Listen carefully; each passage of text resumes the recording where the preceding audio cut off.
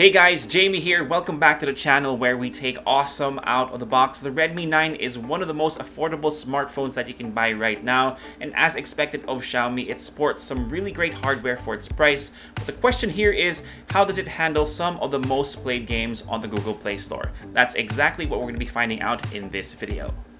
Before we jump in, I'd like to thank the sponsor for this video, Lazada. They'll be having their bounce back sale on July 15th, so that's two days from now, where you can get the Redmi 9 or other Xiaomi smartphones like the Poco F2 Pro at really great price points. Personally, Leia and I are already eyeing some stuff for the house, and if I were you, I'd find the best deals for the things that you need, add them to your cart right now so you're ready to check out once the sale goes live.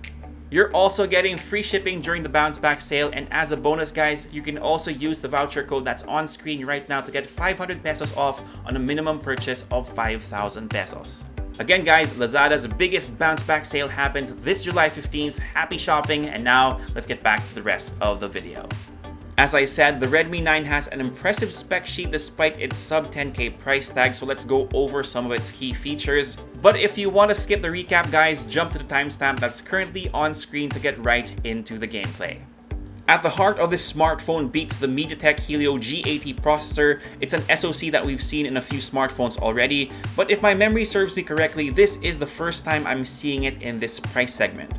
I currently have the base model with me for our review purposes that has 3GB of RAM and 32GB of storage, but I highly suggest spending a little bit more money if you can swing it in your budget to get the 464 variant so you have a little bit more wiggle room to multitask plus keep more media and apps on your device. Something that I kinda neglect doing for these gaming reviews is to show you guys some benchmark scores and here are the results of a couple of tests we've run so far. I'll give it some breathing room just in case you're into the numbers but feel free to pause the video in case you need a bit more time to check it out. Now one big surprise for me when checking out the Redmi 9 was the display. It measures in at 6.53 inches, which is pretty common nowadays, but you're actually getting it at full HD plus resolution, while other smartphones are usually stuck at 720p in this price range. I definitely appreciate the pixel density of the device to give you sharper images, and so far, I've been pretty happy with the viewing experience of this phone as well. The contrast ratio and color saturation are pretty much what you would expect from a panel in a budget-friendly device, but I do have to mention that I do have it set to display more vivid colors to give it an additional pop. Rounding out the key specs that I want to highlight in this video is the battery capacity of the Redmi 9 that's at 5020 mAh. Now I haven't been able to run my battery benchmarks just yet, but in my experience guys, the massive battery should be enough for 2 days worth of juice or about a day and a half, but of course your mileage may vary depending on how much you game on your smartphone. Alright guys, without any further ado, let's get to the gameplay, starting off with some NBA 2K20.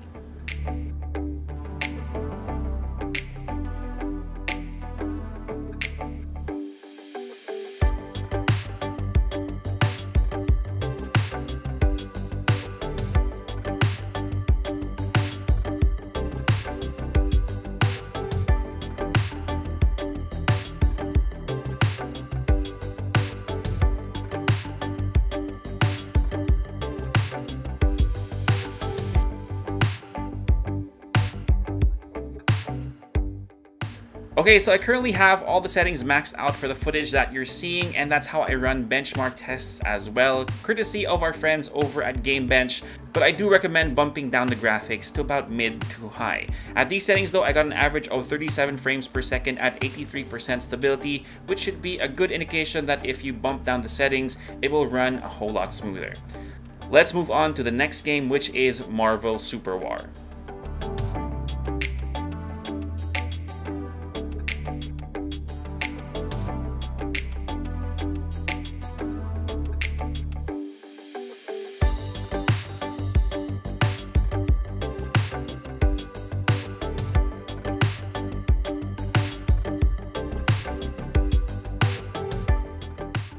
I do have to apologize to you guys. I suck at MOBA, so don't let that distract you from the fact that we got pretty good results here. I bumped the settings down to high for this title and I got an average of 59 frames per second at 97% stability. Now I pushed it to very high off camera but noticed frame rates drop too often, so this would be the sweet spot in my opinion and will hopefully let you win games unlike me. On to the next game which is Call of Duty Mobile.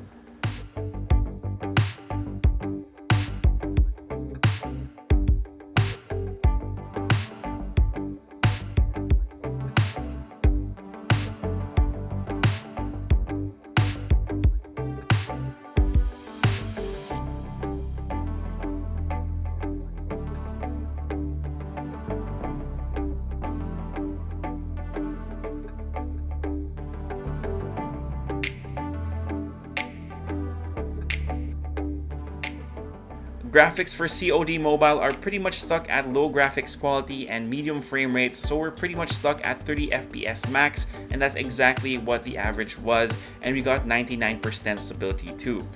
Now I should mention that while you're seeing team deathmatch footage, the test was run during a battle royale game. Speaking of which guys, the last game on the list, PUBG Mobile.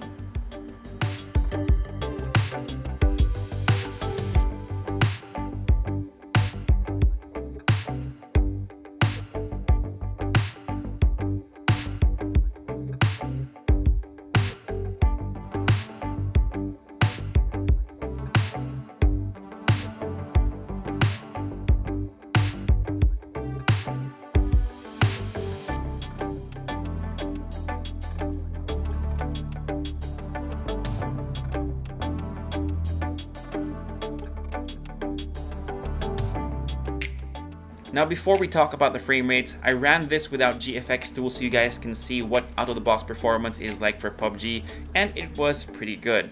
I also got an average of 30 frames per second at 99% stability with the graphics set to HD and high frame rates, and I have a feeling you can push it further with the aforementioned third-party software.